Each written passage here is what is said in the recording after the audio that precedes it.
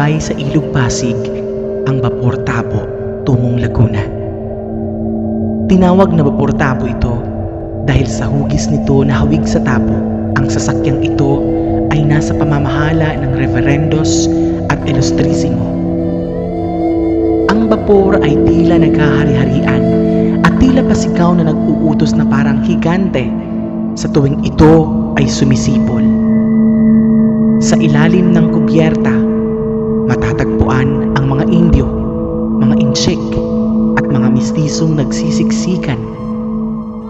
Habang sa itaas naman ay naroon ang mga manlalakbay, mga praile, mga opisyal, mga kawani ng pamahalaan na nakaupo sa mga maluluwang na silya. Lulan ng barko si Doña Victorina na nakaupo sa gilid ng umpok ng mga kalalakihan habang pinupuna ang mga bangka at balsang nakaharang sa kanilang dinadaanan. Si Don Custodio na mahimbing ang tulog. Naroon din ang mga praile at maging ang mayamang alherong si Simon na ayon sa lahat ay itinuturing na sanggunian at tagapagbigay sigla ng Kapitan General ay naroon din. Napakabagal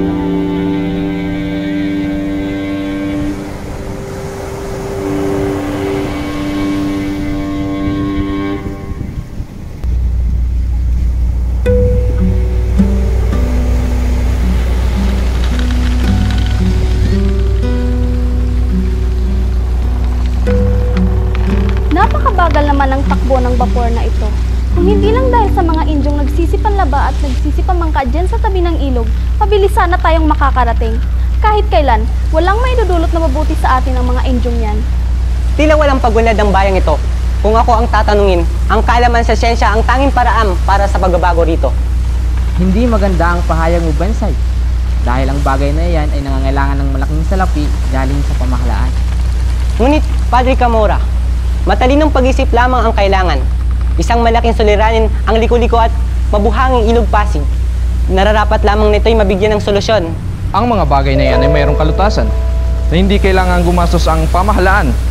Kinakailangan lamang natin maghukay ng isang tuwid na daan mula sa bunganga ng Ilog Pasig na maglalago sa patungo sa Maynila.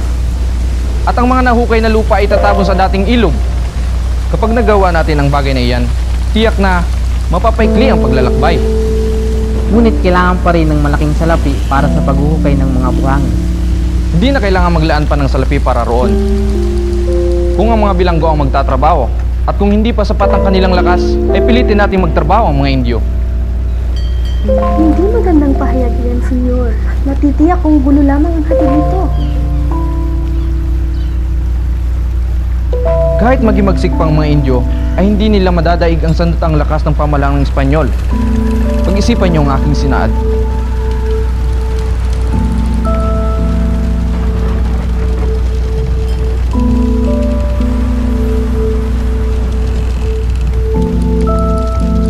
Hindi kailanman makapagbibigay ng magandang suwestyon ang mga taong hindi naman naninirahan dito sa Las Pilipinas.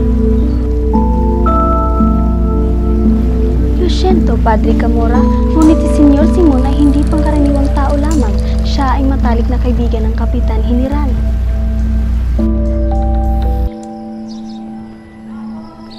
Nabalitaan kong nais raw magpatayo ng Akademya ng Wikang Kastila. Makinig ka sa akin, hindi niyo yan may sa katuparan. Paumanin po, Kapitan. Ngunit nagkakamali po kayo. Malinis po ang hangarin namin sa pagpapatayo ng akademya. Sa katunayan, nangangakong tutulungan kami ni Padre Irin sa Kapitan General. At saan naman kayo kukuha ng pera na gagamitin sa pagpapatayo ng akademya? Nagambag-ambag ang mga estudyante at ilang propesor. Bukas palad na inalok ni Makaraig ang isang bahay nila upang gawing isang paralan. Pagpalain nawa kayo ng may kapal. Nang sa gayon, matagumpay ang inyong plano. Pupunta na muna ako sa itaas. Adios, Isagani. Kinagabihan sa bapor ay naikwento ni Padre Florentino ang alamat ng Ilog Pasig. Sa kabilang dako ay naikwento ng kapitan ng barko ang kwento ng El Filibusterong si Crisostomo Ibarra at kung bakit hindi siya nagkaroon ng maayos na libing, kagaya ng kanyang ama.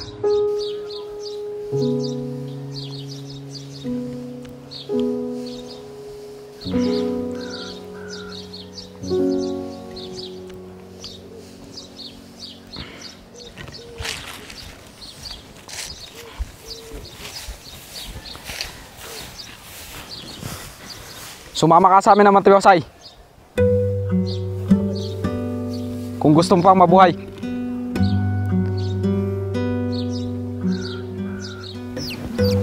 Kailangan mo ba talaga magpaalila kay Manap ng Chang? Kinakailangan ko ito upang matubos ko ang aking ama. Ito lamang ang tanging paraan upang mailigtas ko sa kamay ng mga tulisan. Baka may iba pang paraan. Huli, huwag kang padalos-dalos. Isinangla ko na lahat ng aking mga alahas. Pera na lamang sa agnos na ibinigay sa akin ng Basilio. Ngunit kulang pa rin ito. Kailangan ko ng lumisan. Heto, pakibigay ng sulat nito sa aking ingkong. Paalam na.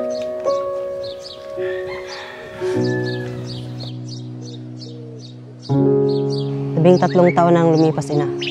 Ngunit sariwa pa rin sa akin ang lahat.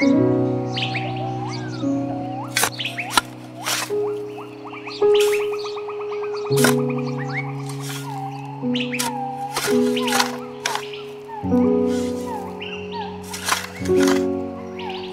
Ibarra? Sino ba yan?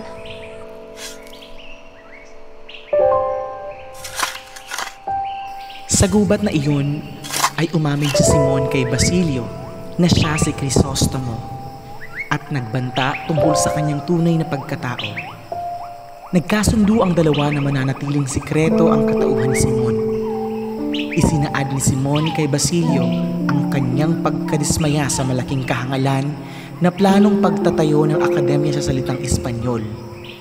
Doon rin ay sinabi niyang isang kawalang hiyaan ang plano nila Basilio at ng kanyang mga kaibigan.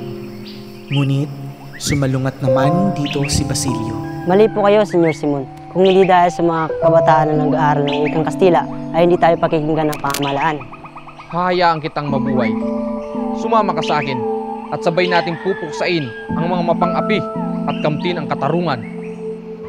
Hindi kailanman malulutas ng dasang isang suliranin. Naniniwala ako na makakamit ko ang isang karunungan sa pamamagitan ng pagtuklas ng kaalaman. At isa pa, Senyor, gusto kong maging isang ganap na doktor at ang iyong mga plano ang siyang mag maghaadlang sa aking pangarap. At ano ang iyong mapapala kung ikaw ay makakapagtapos? Makikita mo bang masaya ang iyong bayan at malaya ang mga tao? At hahayaan mo na lang ba ang dahilan ng pagkamatay ng iyong ina't kapatid? Pauminin, Senyor, ngunit buo na ang aking pasya. Hindi ako makikisa sa iyong plano. Kung gayon, umuwi ka na sa iyong tahanan. Hindi ko hinihiling na itago mo ang aking lihim. Dahil kahit sabihin mo ito'y walang maniniwala sa iyo at kung magbago ang iyong isip, hanapin mo lamang ang aking bahay sa eskolta.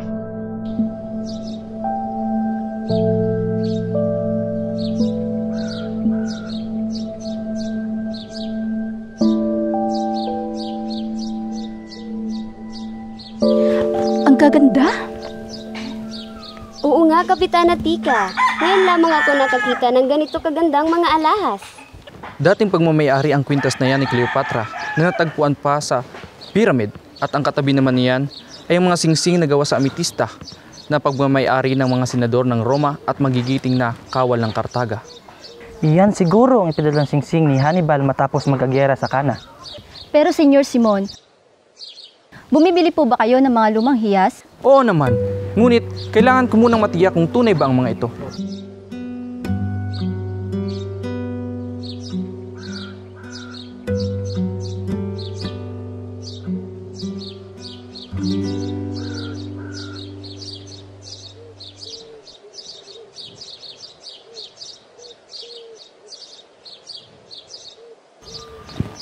Kayo po, Kabesang Talis, may nais po ba kayong ibenta na alahas?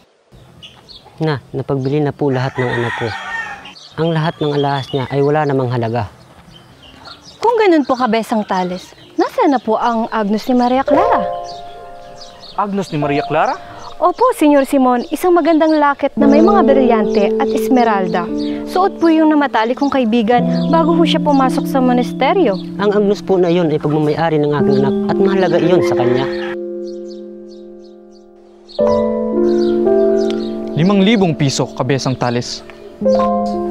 Kung papayagan ninyo, hihingin ko muna ang permiso sa aking anak. Hintayin po ninyo ako. Patawarin niyo po ako sa kapangasang ginawa ko. Ipinalit ko sa inyong revolver ang agnos na pinagnimitian ninyo. Kailangan ko ang sandata sapagkat ako'y sasama sa mga tulisan. Pinapayuhan ko kayong mag-ingat, kalulungkot ko kung magkita tayong muli, kapagkat makatitiya kayong huhulihin namin kayo. At ipatutubos sa malaking presyo tulad ng pagbibinta sa mga alahas ninyo. Pagbaba ninyo sa hagdan ng bahay ko, makasisiguro kayong hindi na ninyo ako may tuturing na isang kaibigan, kundi isang kaaway na dapat pangilagan. Natagpuan ko na rin ang taong aking hinhanap. Ito ang katuparan ng aking mga plano. Hermana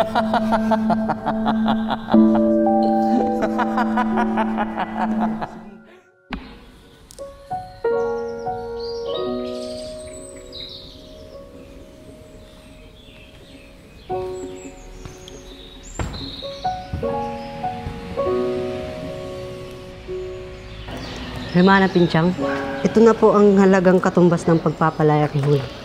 Hay nako, hindi ko na dapat siya pinautang. Hindi rin pala tutubo ang aking salapi. Huwag na kayong tumutol, Hermana Pinchang. Sapat na po ang paglilingkod niya sa inyo, kapalit ng pagpapautang mo sa kanya. Hmm, sige, halika. Pupuntahan natin siya.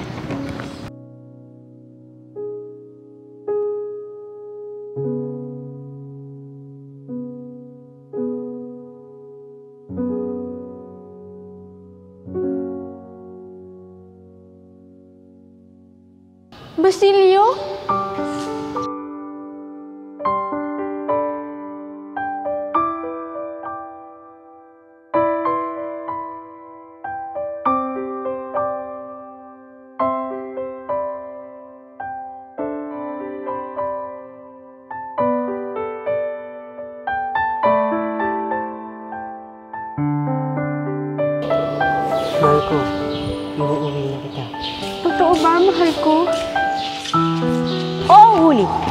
Nang umuwi dahil tinubos ka na niya.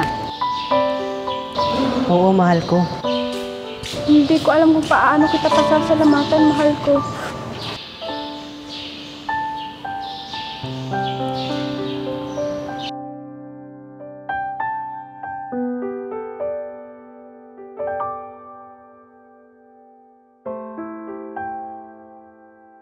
Napakabait talaga sa akin ng tadhana. Siniswerte na talaga ako. Simon, halika't sumali ka sa amin. Paumanhin kamahalan kung sa ako man ay nakakaabala sa inyo. Ngunit may gustong ipaabot ang kalihim. Ano ang naririyan ngayon? Humihingi po kamahalan ng pahintulot ang mga kabataan na makapagpatayo sila ng paaralan ng wikang Kastila. Ano sa palagay mo? Makatarungan po ang kahilingan. May mga bagay na dapat na isaisip bukod sa hindi pa napapanahon ang kahilingan. May sapantaha akong masama ang layunin ng mga kabataan. Ang kahilingan ay pinamumunuan ng ilang binata sa pawing kilala sa pagkamakabago at kapalaluan. Si Isagani, na pamangkin ni Padre Florentino, isang binata na nagngangalang makaraig. Isang binatang may napakagandang ugali at nakalulugod. Yan ang sinasabi ko sa inyo. Mayaman at iniluluhog ng kundisa ang inyong tinan. At isa pang nag-aaral ng medisina, si Basilio. Kung gayon, itala ang mga pangalan niyan. Ngunit, General, hanggang ngayon ay wala pang sumbong laban sa mga binatang iyan at ang kanilang kahilingan ay makatwiran at dapat silang paintulutan at bawian ng premiso kung talagang aabuso. Ngunit ang mga Indyo ay di dapat matuto ng Kastila. Nararapat na tayo ang unang magalak sa tagumpay ng mga kabataan. Ang bayan ay mangmang at mahina sa ngayon, ngunit bukas ay iba na. Ang kanyang paglakas ay hindi mapipigilan, sapagkat pinamahal nila ang kanilang katwiran. Bakit hindi tayo magbago samantalang wala pa'y tumuwang? Ang kabataan ay tamad, ngunit sumisigasig kapag ito'y sumasalungat. Mga ginoo, ipagpaliban muna natin bukas ang talakayan. Gusto ko nang magalmusal. Sa bahay ni Makaraig, nag-usap-usap ang magkakaibigang sina Picson, Makaraig, Isagani, Sandoval at Juanito. Pinag-uusapan nila ang kabiguang naganap sa pagtutol ng Kapitan General at ng tagapayo nitong si Simon sa Los Baños ukol sa kanilang planong pagpapatayo ng akademya. Nabuwal ang pag-asa ng magkakaibigan, ngunit isang suwestyon ang ibinigay sa kanila ni Padre Irene. Ang kausapin si Ginoong Pasta na abogado ni Don Custodio. At sa Isagani ang nakatukang kaumausap rito. At bakit hinahangad niyo pang ituro ang wikang Kastila? Pagdating ng panahong tubuan kayo ng uban katulad ko, baka sabihin niyong ako'y hindi sa inyo nagbulaan. Hindi po ito pa sariling kagustuhan. Ako'y napagutusan po lamang. Sa ngayon, hindi mo masabing ako'y nakatulong sa kapwa. Pero, sa bawat puting buhok ay magsisilbing tinik ng aking kakulangan. Ginoo, hindi lahat ng mabuti ay nagbubunga ng mabuti. May mabuti ring nagbubunga ng masama. Kaya't kung ako sa iyo, pag-iisipan ko ng ilang beses ang bawat yapa ko. Kung hindi mo kayang suportahan ang proyektong ito, sapat na ang tumanggi ng diretsyo. Hindi mo kailangan manakot dahil hindi ko ito pagsisihan. Salamat sa oras na inilaan.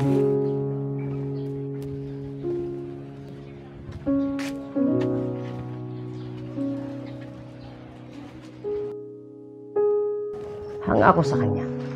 Gayon may, siya mismo ang humuhukay ng sarili niyang libingan. Nasaan na ang iyong siyam na libong pisong utang? Patawad, may wala pang opela. Empleyado, tenyente, opisyal. Sila lahat utang akin pero wala sila bayad. Di ko alam kung paano bayad utang. Pwede pakiusap, sa sunod na lang ako bayad. Ay, Kiruga, hanggang ngayon hindi ka pa rin nagbabago. Pero hayaan mo, magkaibigan pa rin naman tayo. Talaga? Salamat kaibigan. Kung gusto mo, gawin natin 7,000 piso ang iyong utang. Ngunit sa isang kondisyon. Ano, ano yun? Mamayang gabi, darating ang aking mga armas. Gusto ko sanang ilagay iyon sa iyong bodega. Pero delikado kang kablado. Baka mahuli tayo ng tundalo. Takot si Kiluga. Meron ako balin pero paghawak ko, sikit aking mata. Kung gayon, wala tayong problema. Madali naman akong kausap, Kiruga.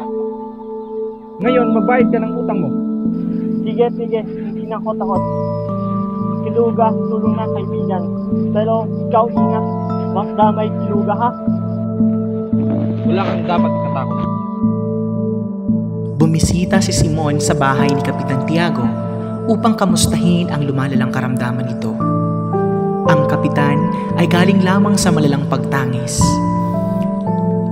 Nang gabing iyon din ay inanyayahan na ni Simon si Basilio na sumapi na sa kilusan na nais niyang ilunsad. Inutusan niya si Basilio na kuhain si Maria Clara sa monasteryo kapag nakakuha ito ng pagkakataon. Ngunit isang balita ang isiniwalat ni Basilio tungkol kay Maria Clara na labis na ikinamatay ng damdamin ni Simon. Napuno ng pagtangis ang gabing iyon dahil sa pagkamatay ng nag-iisang babaeng pinakamamahal niya. At ngayon, mas nag-alab ang galit sa kanyang puso at wala nang makakapigil sa kanyang planong paghihiganti.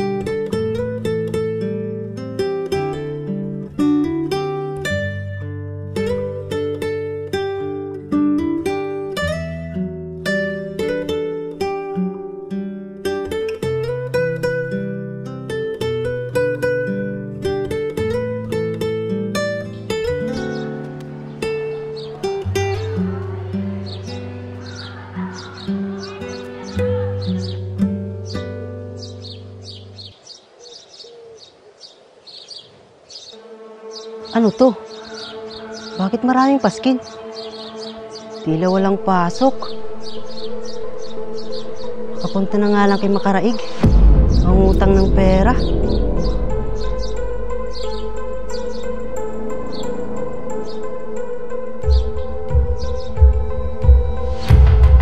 Makaraig! Bakit ka na pa rito, Basilio? Ikaw pala si Basilio. Magaling. At hindi mo na kami pinahirapan para hanapin ka pa. Hinuhuli kita. Halika, dinarakip kita.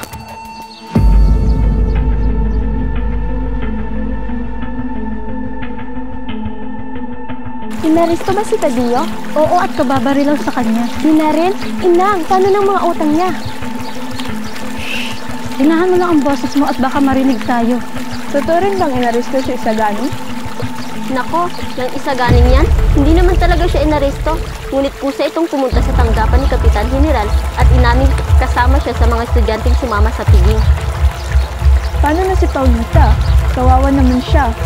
Marami naman siyang paghahanga kaya nakakatiyak akong hindi siya magdaramdam ng labis. Ngunit maaaring magdamdam siya ng saglit pero di kalaunan magpapakasal rin yan sa isang Kastila. Dahil sa pagkabilanggo ni Basilio, ay napilitang maghanap ng paraan ng kanyang kasintahang si Huli. Lumapit siya kay Germani Pencham at humingi ng tulong na kausapin si Padre Camora na palabasin sa kwartel ang kasintahan. si Padre Camora, kaya Ngunit sa kasamaang palad ay kalapastangan ng kanyang sinapit sa kamay ng praile. Ginahasa siya nito kapalit ng kalayaan ng kanyang nobyo. Sa pagkamuhi sa sarili kasabay ng pandidiri ay inisip nitong wala nang halaga ang buhay niya. Kaya kinitil niya ang kanyang buhay sa pamamagitan ng pagtalon sa kampanaryo ng simbahan.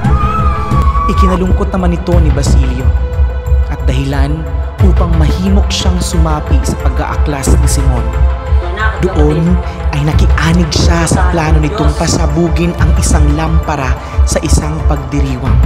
Sinabi ni Simon kay Basilio na sa loob ng dalawang minuto ay mamamatay ang sindi ng lampara at kapag hinila ang mitsa nito ay BOOM!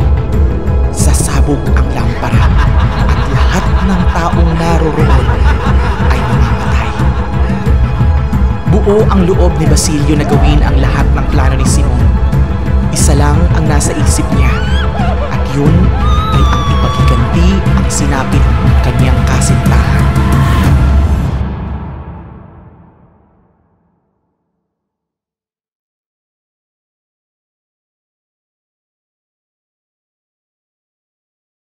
Umalis ka, Injo. Hindi ka nararapat rito. Nais ko lang malaman kung anong nagaganap sa loob.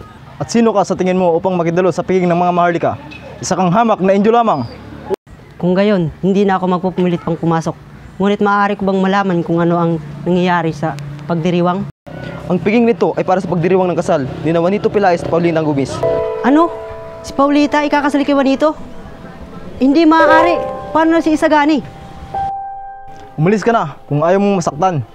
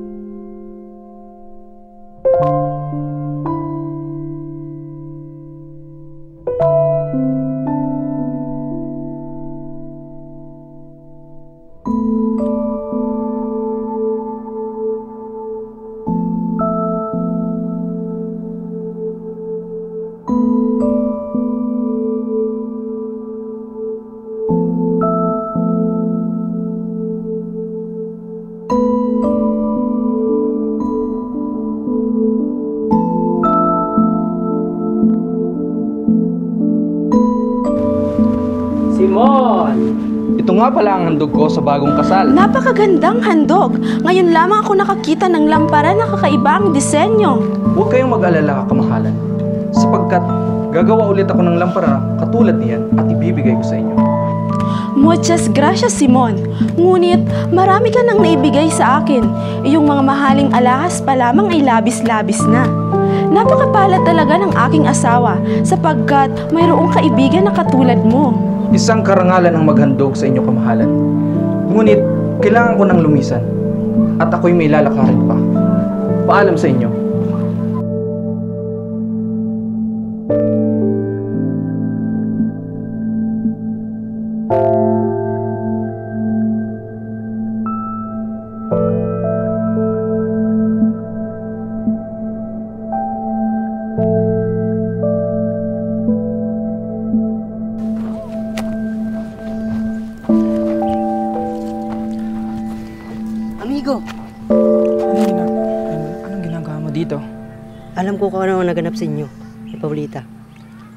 Halika, sumama ka sa akin. Puntahan natin siya. Ibig ko siyang makita. Hindi! Maaari mong ikamatay! Halika na! Hindi ko alam. Makinig ka. Sa loob ng lampara, may nakatagong pulbura doon. Maaaring itong sumabog anumang oras. Halika na! Baka iba na siya bukas. Sagani, sumama ka na! Hindi nga! Gusto ko siyang puntahan.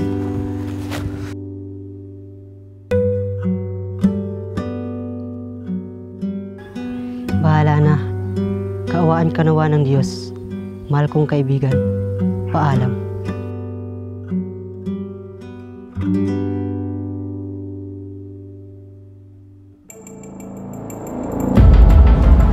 Ano ito? Mini Tisil Pares? Crisostomo Ibarra? Hindi magandang biro yan. Siya nga, si Ibarra. Sulat kamay ito ni Ibarra. Ngunit matagal na siyang patay.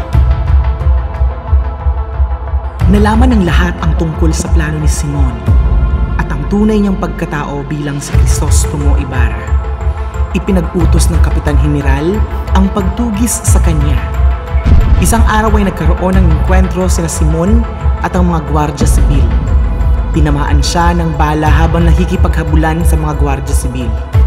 Sa kabutihang palad, nailigaw niya ang mga ito at tumungo sa bahay ni Padre Florentino upang humingi ng tulong. Senyor Simon, Padre, paumanhin kong nagambala ko ang iyong pamamahinga, ngunit hindi na ako makapagtiis pa. Ano pa talagang nangyari sa inyo? Padre, nakagawa ako ng isang kasalanan sapagkat ayaw ko nang nahihirapan. Tiyak na ang aking kamatayan sapagkat uminom ako ng lason. Diyos ko, Senyor, bakit mo yung ginawa? Alam niyo naman na ang pagpapatiwakal ay isang mabigat na kasalanan. Tawarin nawa ako ng Panginoon. Ngunit, Padre, Ano iyon, Senyor?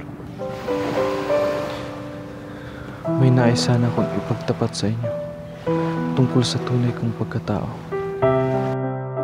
Unang kita ko pa lang sa inyo, Senyor, alam ko nang nababalot ng hiwaga ang iyong pagkatao. Ikanalulugod ko lahat ng ipagtatapat mo. Juan Crisostomo Ibarra. Ako si Ibarra.